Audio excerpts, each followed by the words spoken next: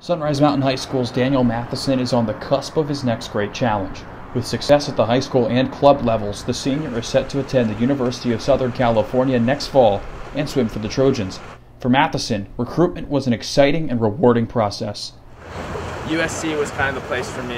That was kind of my dream school once I realized I was I might have the ability to be able to swim in college. Joining a perennial top 25 program may seem like an easy choice, but for Matheson, he considered other factors as well.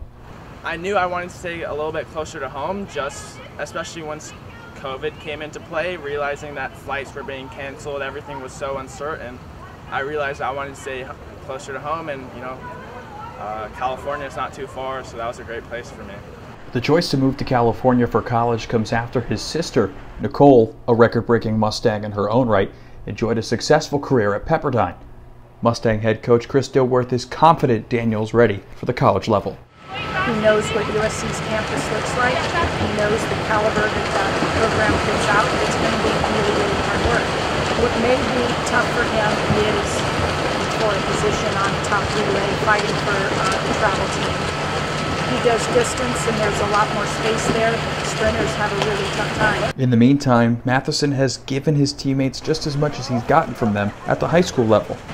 Well, he's a great teammate. He, he has some good friends that he gets to joke around with, and they're, they're friends and they're supportive of each other, so it's all good. And the message Matheson has taken away from his teammates is fairly simple. Keep going.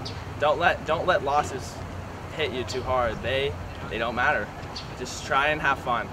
That's what they really taught me is have fun. For more information, visit azpreps365.com.